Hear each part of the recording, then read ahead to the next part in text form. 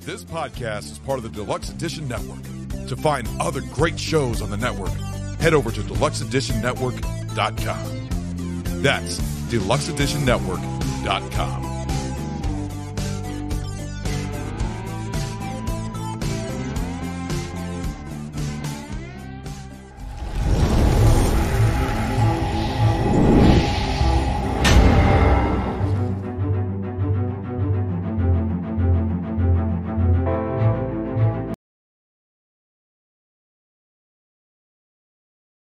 Hello, everyone. Welcome back to another episode of the Stephen Jarvis and Friends podcast. Today, I'm trying something a little new. I left StreamYard and now I'm on Evmux, I think it's called. So, today we are talking about the 1967 film The Born Losers. The Born Losers is a 1967 American outlaw film, biker film. The film introduced Tom Laughlin as the half Indian Green Beret vet Vietnam veteran Billy Jack. Since 1954, Laughlin had been trying to produce his Billy Jack script about discrimination toward American Indians. In the 1960s, he decided to introduce the character of Billy Jack in a quickly written script designed to capitalize on the then popular trend in motorcycle gang movies. The story was based on a real incident from 1964 where members of the Hells Angels were arrested for raping two teenage girls in Monterey, California. The movie was followed by Billy Jack 1971, which saw AIP pull out of production midway through before others stepped in. Um, the plot of Billy Jack. Billy Jack is introduced as an enigmatic half Native American Vietnam veteran who shuns society, taking refuge in the peaceful solitude of the California Central Coast Mountains. His troubles begin when he descends from the unspoiled setting and drives into a small beach town named Big Rock. A minor traffic accident in which a motorist hits a motorcyclist results in a savage beating by members of the Born Losers Motorcycle Club, led by Danny. The horrified bystanders are too afraid to help or be involved in any way. Billy Jack jumps into the fray and rescues the man by himself. At this point, the police arrive and arrest Billy Jack for using a rifle to stop the fight. Um, the police then throw Billy Jack into the jail, and the judge ends up fining him a thousand dollars for discharging a rifle in public. Um, the assaulters, meaning the bicycle, the motorcycle gang, get uh, a hundred dollar and a hundred and fifty dollar fine or thirty days in jail, which leads Billy Jack to having to sell his jeep. Um, he is then later treated with suspicion and hostility by the police. Meanwhile, the marauding bikers, marauding bikers terrorize the town, rape four teenage girls, and threaten anyone slated to testify against them, with the kid brother of the leader being fingered as part of the rape. One of the girls later recants, saying she willingly gave herself to the biker gang after the gang goes to her house and turns the power off before breaking into the house to spook her. Despite the efforts of the police to get her to not recant, her mother defends her decision to not testify. Vicky Barrington, a bikini clad damsel in distress, is twice abducted and abused by the gang. The first time she goes along with the idea of be- being a biker mama if she can get drugs from her bike to take as a way to sneak up on a biker to knock him out and flee. Her supposed plan of ditching her bike to flee on foot results in her being caught and raped to the point where she is put in hospital. The second time, the bikers steal a cop car and try to steal her from the hideout after she agrees to testify for the trial. Her attempted escape has her run into Billy, who takes a swing at the bikers and takes Vicky to his location on her bike. She is spooked enough to not testify, and the gang later comes back to his place when the two are out for lunch and steal his money. Little by little, the other victims are spooked out by the bikers and ineffective sheriffs. In the night, Billy drives out to see the bikers to talk to their leader about his stolen money. He gives them until tomorrow to get it back before leaving. The next day, the bikers confront the two at a gas station. Billy fights Gangrene and beats him before getting some of the money back and taking one of their bikes. Danny offers Vicky to serve as the sexually complacent, compliant biker mama the easy way rather than being there by force, which she declines. The gang comes to the hideout to ask them to see Danny by their hideout. which reveals they have kidnapped one of the rape victims. The dad tries to intervene, but he fails. Billy is hit from behind with a tire iron and beaten after trying to distract long enough for Vicky to ex- to escape, but each fa- fail. It is then that Vicky agrees to be a biker mama to get them to let go of Billy. At the police station, Billy is unable to help get help from the police or the local residents and must return to the gang's lair to rescue Vicky by himself.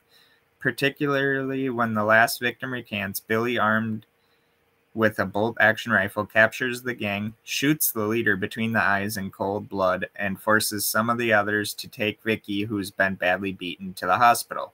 As the police finally arrive, Billy abruptly rides away on one of the gang's motorcycles. The anti authority sentiment continues up to the end when a police deputy accidentally shoots Billy in the back, mistaking him for a fleeing gang member. He is later found nearly dead, laying by the shore of a lake.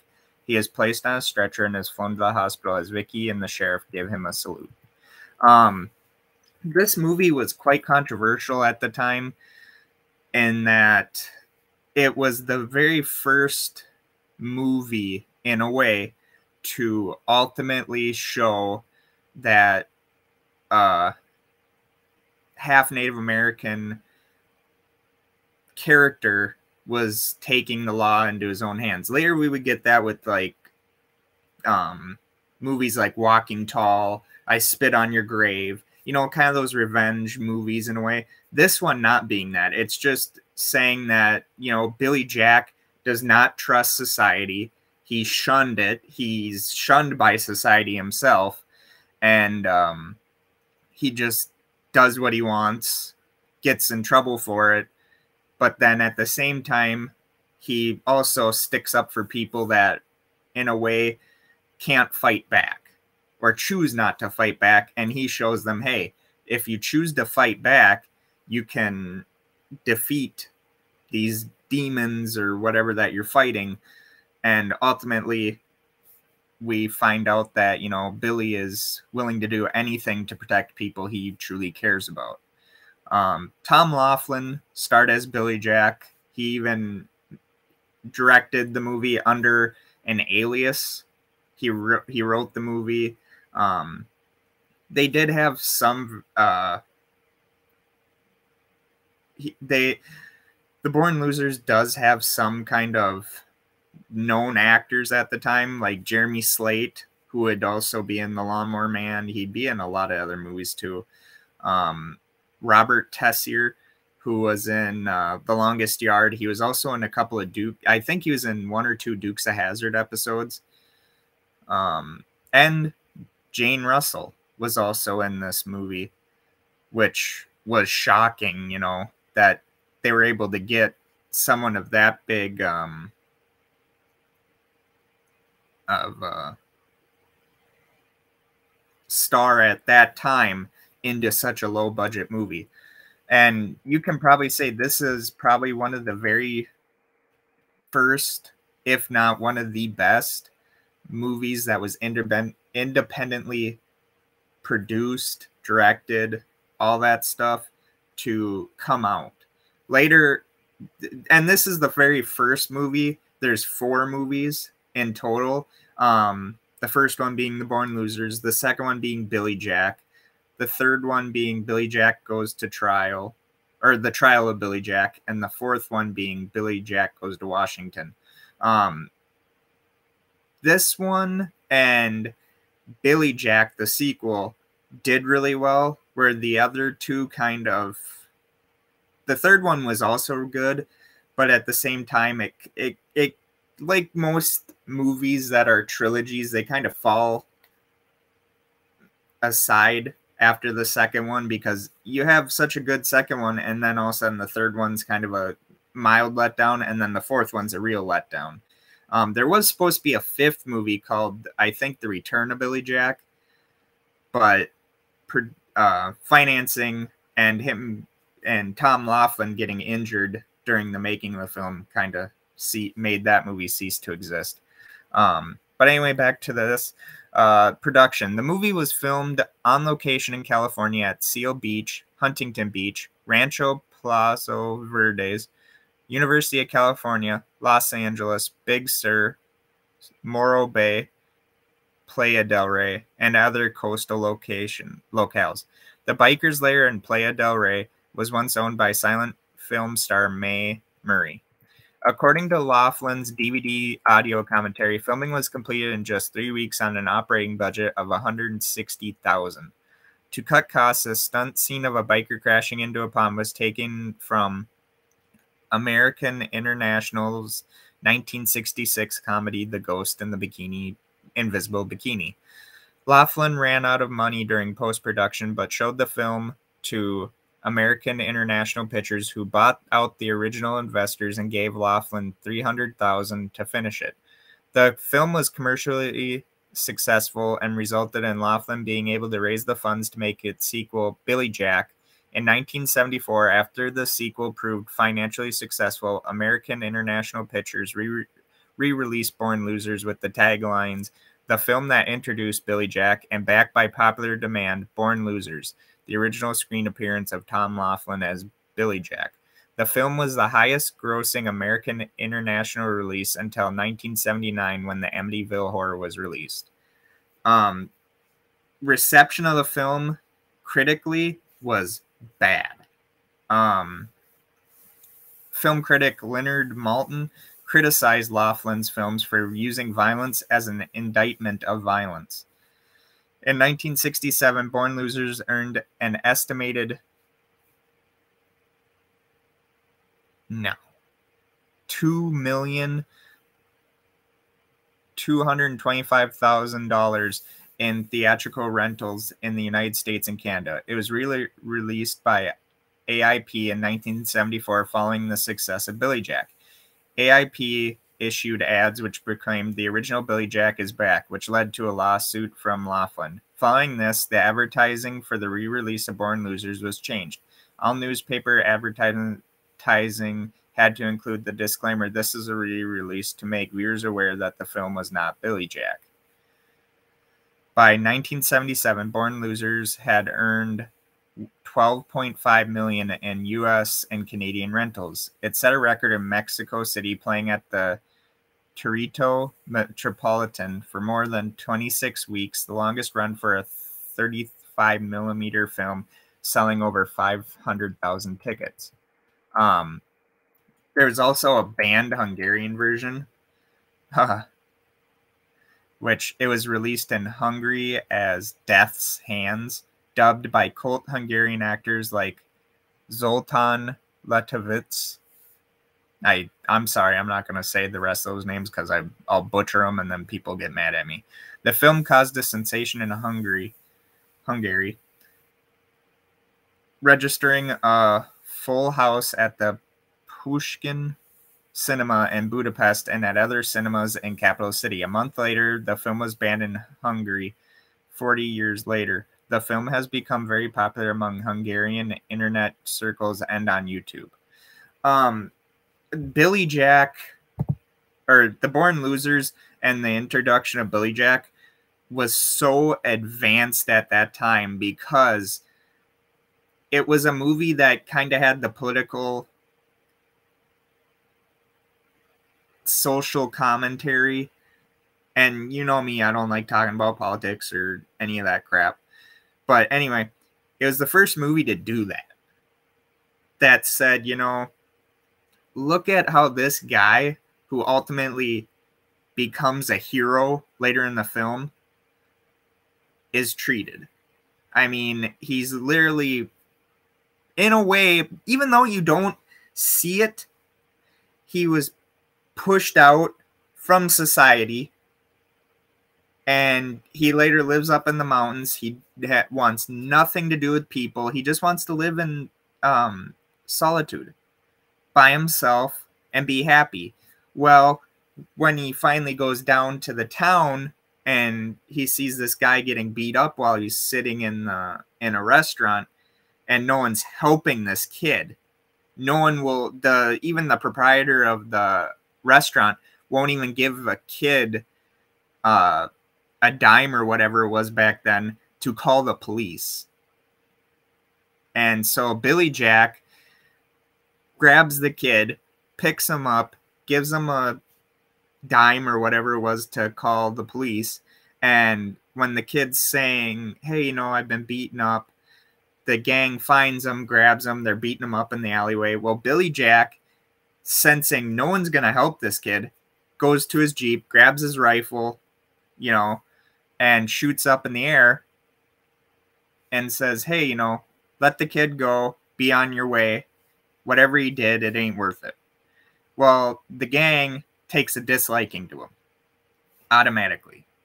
So then Billy Jack, in an essence, even though he does get arrested for discharging a firearm and all that, he's ultimately showing that, you know, the law there is so inept that he had to take command and protect this person or this person was going to get killed by this biker gang. And so the Born Losers doesn't really dove much into the po- political statements that the other films would later fall into. It's still a very great movie. If you haven't seen these movies, go watch them. Um, you can buy them at Walmart. I'm sure you can buy them on Amazon. Um, all four movies are very good. I would say probably the first two were the best. Trial of Billy Jack is up there, but at the same time, it, it he Tom Laughlin, and you'll find this out with a lot of his movies, was political. I mean, he he doesn't show it much in Born Losers, but in other movies he does. Like in Billy Jack, he talks about you know the treatment of Native Americans, how bad it is, and then in the trial of Billy Jack, the third one, he talks about his time in Vietnam War, in the Vietnam War, and the massacre at My Lai, and it's it's really something to behold with how these movies were made back then, and were able to get away with some of the shit. I mean, that's not saying that he didn't have to kind of take over and re-release some of these movies. He had to because there was so many studios that wouldn't even touch his movies because of what he was trying to say. Nowadays, anyone will touch anything that's got social commentary, political views, whatever, woke ideology, all that bullshit. And like I said, I'm not going to get into the political discussion because, as we all know, I don't care. But anyway, he was doing that back then. Granted, he wasn't doing it as much as what today's films are doing, but he was also at the time saying, hey, you know, this ain't right.